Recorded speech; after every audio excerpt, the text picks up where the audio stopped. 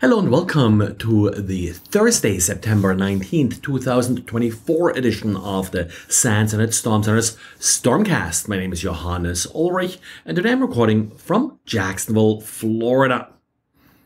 Xavier today wrote about an info stealer he found that appears to be targeting crypto wallets in addition to other username and passwords found on your operating system. It's targeting Windows, in particular to script patches existing installations of the Windows Exodus CryptoCoin wallet.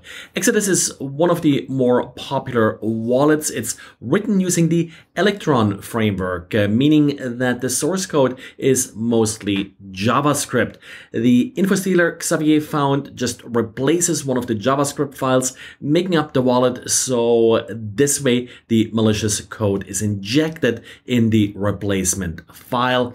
While this may appear somewhat sophisticated when we're talking about patching, remember this just involves replacing the file. The trick has become somewhat a commodity with these Electron application and is also used by less skilled attackers. I think this is a little bit evident here because uh, Xavier notes there are a number of encoding issues and such with this particular malware, so it's actually not really written that well. Proper authentication for data stored in cloud services is always critical as there's usually no perimeter to hide your mistakes. The latest example is the support platform ServiceNow.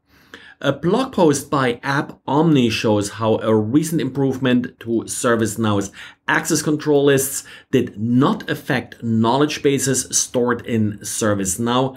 As a result, data stored in these knowledge bases may have accidentally been exposed. Knowledge bases, well, uh, they're often actually part public and uh, then also the way access is controlled to these knowledge base articles is a little bit different in uh, ServiceNow than other objects that are stored. As a result uh, these adjustments they made sort of to default permissions didn't really quite apply to knowledge bases so some of these default restrictions uh, do not apply and that makes them vulnerable uh, to being exposed. The blog post uh, by Omni provides more details about this as to how the different uh, privilege mechanisms here work in a ServiceNow and how to make sure that your knowledge bases are properly secured. GitLab released a critical update uh, fixing an authentication bypass vulnerability in its SAML implementation. The root cause are vulnerabilities in libraries that GitLab employs to implement SAML, and these libraries are updated with this patch.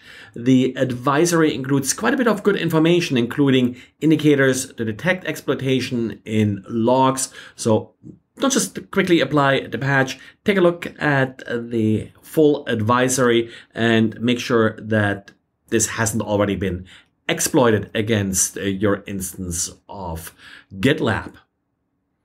Users of Aruba networking controllers also have an update waiting for them. The update fixes three remote code execution vulnerabilities, but exploitation requires authentication, restricting access to the command line and web-based admin interfaces is as always recommended and will reduce your exposure.